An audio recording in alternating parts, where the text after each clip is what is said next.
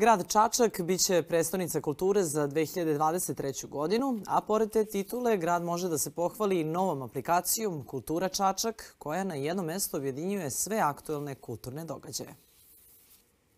Čačak je jedan od tri grada u zemlji koji se može pohvaliti ovom aplikacijom sa ciljem da se kulturni sadržaj promovišu širom Srbije, ali i inostranstva. Mislim da će možda imati veliki značaj za naše građane, jer neko ko nije to upoznat i ne može da posjeti toliko vremena istraživanju grada, može da, da uđe na tu aplikaciju i da upozna eto, te neke nove destinacije. Mi iz Čačka opet koliko toliko upućeni smo u sve, turisti manje više a često dolaze. Pa znači će naravno da bi mogli bolje i lakše da se upoznaju s gradom i sa, sa njegovim istorijskim i kulturnim značajem.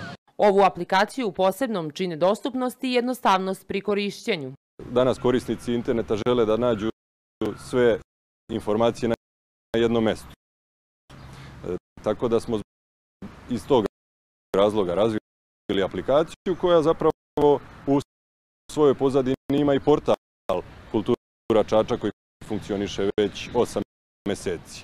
Ono što je inovativno kod aplikacije je to što korisnici e, nakon instalacije će imati opciju da primaju obaveštenja na svom telefonu. Neće čak morati ni da pokreću aplikaciju, već će imati obaveštenja o kulturnim dešavanjima u gradu tog dana. Aplikacija Kultura Čačak pomoći će građanima, ali i mnogobrojnim turistima da na mnogo brži i jednostavni način budu upućeni u sve kulturne događaje u gradu na Moravi.